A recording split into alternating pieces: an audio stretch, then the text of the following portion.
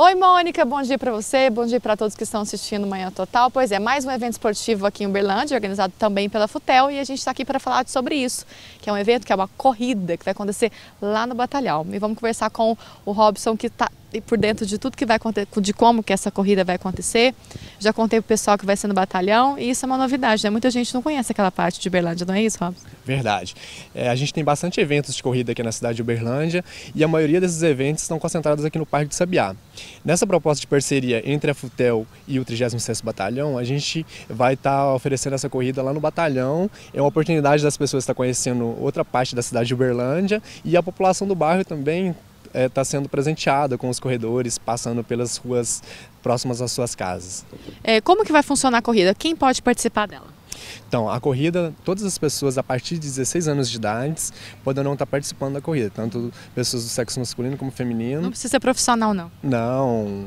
É, na verdade, a corrida né, tem aquelas pessoas que são profissionais, mas a grande maioria das pessoas são pessoas né, normais, que nem a gente, simpatizantes de corridas, pessoas que gostam de praticar esportes, e a gente está oferecendo uma distância de 7 km, que vai ser a corrida. A corrida vai ser bastante interessante, vai ser uma corrida é, é, num percurso misto, que vai ser asfalto e terra. Muito legal. Então vai ser um pouco diferente do que o pessoal habitualmente tem aqui na cidade de Uberlândia. E existe alguma premiação para esse pessoal? Há também a inscrição. Duas perguntas, uma, Robson, para saber se o pessoal tem que fazer alguma fazer o pagamento da inscrição.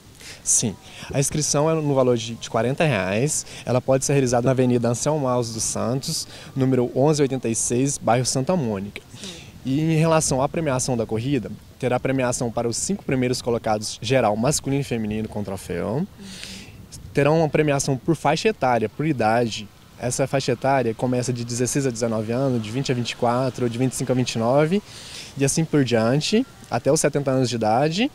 E esses, os três primeiros colocados por faixa etária receberão um mini troféu, que é um troféu um pouco menor. E todas as pessoas que completarem o percurso da, da corrida de 7 km irão receber uma medalha de participação, Acaba que é um incentivo também, né? Também. E outra coisa interessante, né, de falar que durante a corrida será cronometrada por chip, por chip descartável, todo mundo terá. Não tem como burlar e isso também é super organizado. Será muito bem organizado nos mesmos moldes das corridas que o pessoal está acostumado aqui na cidade. Robson, onde que vai ser a corrida? A corrida será no 36º Batalhão, e a largada vai ser de dentro do batalhão e a corrida acontece nas imediações do batalhão, com a chegada também no interior do batalhão. É isso aí, Mônica. Mais um evento esportivo aqui na cidade, mais uma corrida. E para quem quer ter mais informação, pode ligar na Futel, 3235-6289. Aí você pode saber direitinho qual horário, onde faz inscrição e aonde vai ser a corrida, que é lá no 36º Batalhão, ok? Espero que você também corra, porque a gente vai se movimentar para mexer o corpo com o pessoal daqui de Verlândia. Volto com você no estúdio.